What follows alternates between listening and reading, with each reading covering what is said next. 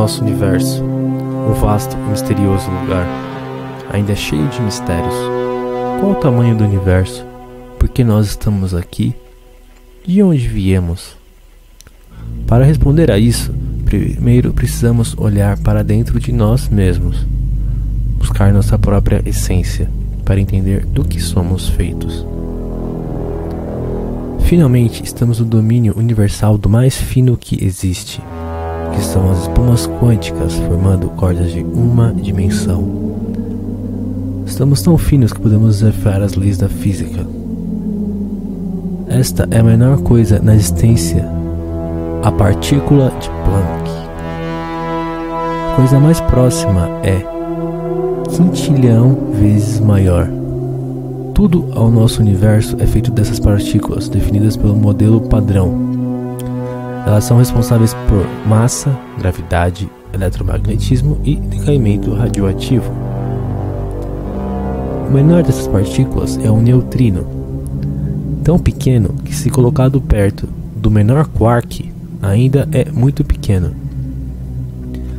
Existem quarks, os quais se combinam para formar partículas compostas. As mais conhecidas são os prótons e nêutrons. Esta onda vem da partícula de luz, o fóton. Ampliando ainda mais, nós podemos passar pelos elétrons. Chegamos no bóson de Higgs. Esta é responsável pela massa. Finalmente chegamos nos mais famosos, os prótons e nêutrons. Podemos combinar eles para formar o núcleo atômico quais se combinam para formar o maior elemento de massa atômica. E por último chegamos no átomo. Parece grande? Nosso corpo sozinho é composto de um octilhão de átomos. A soma dessas ligações formam os blocos da vida: proteína, carboidrato, gorduras e DNA. As maravilhas da nanotecnologia existem aqui, essa é uma típica visão de microscópio eletrônico. A maioria dos vírus tem esse tamanho, tão pequeno e tão mortal. Essas células compõem nossa vida. Em cada uma de nossas 40 trilhões de células contendo 220 bilhões de pares de DNA, nosso genoma. Nós alcançamos a marca dos menores animais.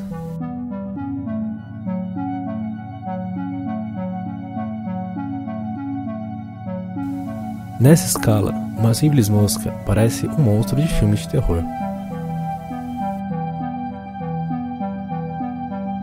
Um grão de arroz, uma formiga. Chegamos à escala do nosso dia a dia. Ainda bem que os insetos têm exoesqueleto e não podem crescer quanto nós.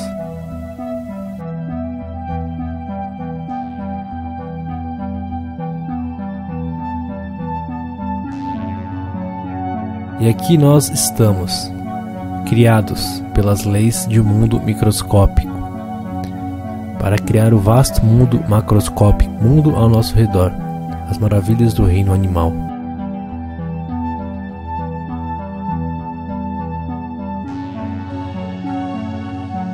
O maior mamífero na Terra, o elefante, ainda no oceano estão as maiores criaturas: a lula gigante, o Jurássico Mosasauro, a baleia azul, mas a história produzia ainda criaturas maiores. Um avião tem o mesmo tamanho de um dinossauro e é maior que uma baleia azul. Ainda assim, parece um anão em comparação com o maior organismo vivo, a árvore Hyperion. Mas o homem construiu algo maior, os aviões. E a maior coisa que voou no céu foi Hindenburg. Nós também temos criado navios gigantes. Contemple o Poseidon dos mares, Yari. Agora estamos maiores que nunca com os prédios, maiores que algumas montanhas na vertical, e algumas plantações são tão grandes que são maiores que montanhas na horizontal. Mas a natureza sempre supera o homem, e as maiores montanhas são bem grandes. Mas a nossa espécie se espalhou ampla e rapidamente. Agora o espaço é nossa nova fronteira. Estas são as luas de outros planetas, vastas áreas de regiões inexploradas.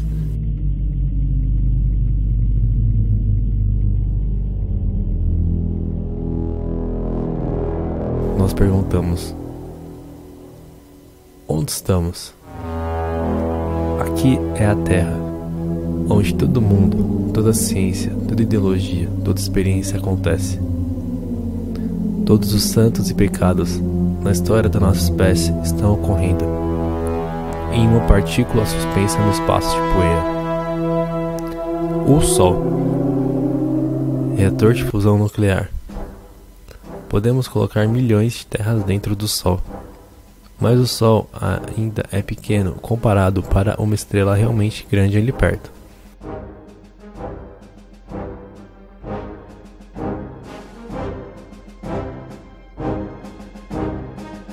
Polaris, mais de 10 mil vezes maior que o nosso Sol.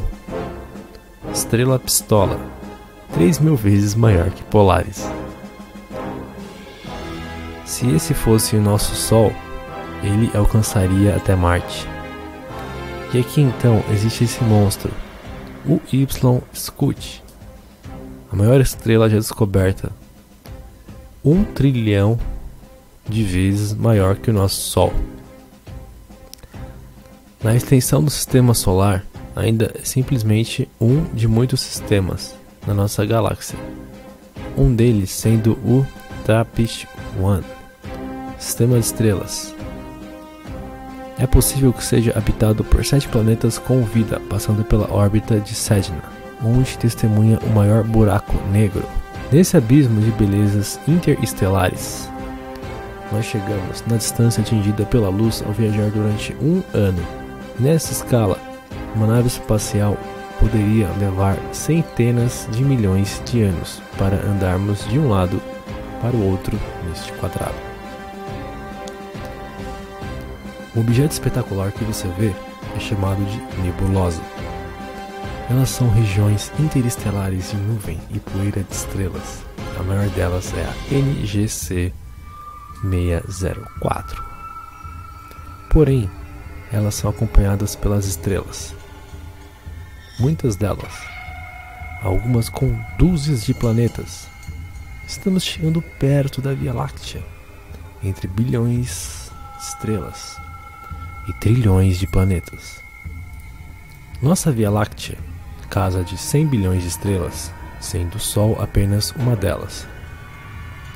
A Via Láctea é apenas uma de trilhões de galáxias existentes lá fora. Cada galáxia com 100 bilhões de estrelas.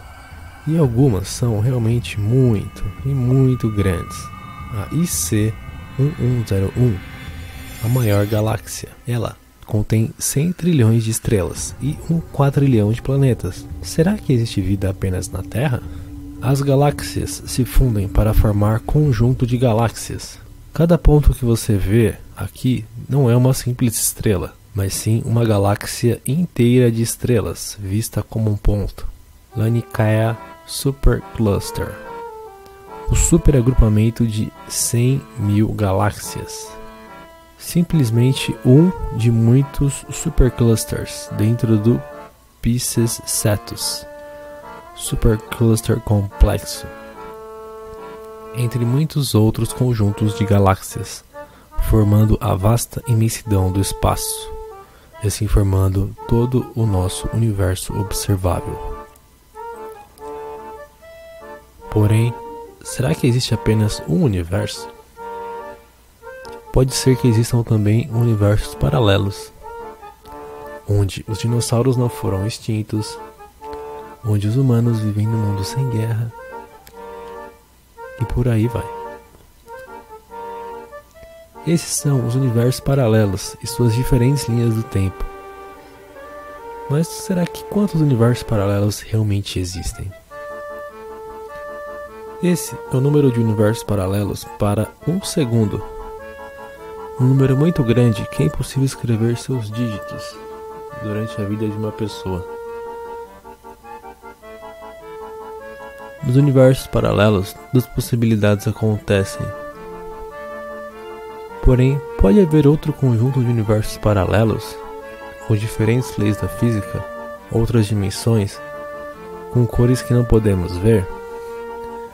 Esse é o nosso multiverso.